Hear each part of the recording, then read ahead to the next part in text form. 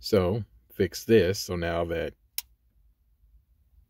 it does that, which that shows 12.5 by the way, it's kind of hard to see. But I can now turn it off and on so that way it won't drain the battery.